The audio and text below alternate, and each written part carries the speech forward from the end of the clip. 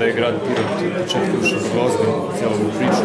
Još od 2019. godine kad je potpisan memorandum razumevanje za sprovođenje ovog projekta, zaključno sa prošlom godinom kada smo to i realizovali, ja ću da ponovim da smo mi dobili tri nova vozila, autosmećera, dobili smo kante koje smo podelili građanima i dobili kontejnere za uh, takozvane plave kontejnere i žute za, za stakleni otpad, rasporedili smo stambenih blokovima.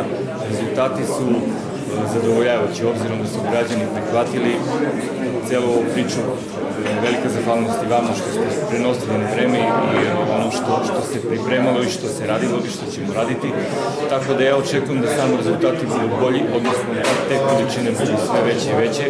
Naravno da je put drugačak, ali mi se nadamo da idemo dobrim pravcem kao grad, kao Pirotski okrug, da ćemo, pored toga što smo dobri za projektu danas biti i sutra dobri domaćini svim našim gostima. Iskoristit ću priliku da im poželim dobrodošlicu i prijetan boravak.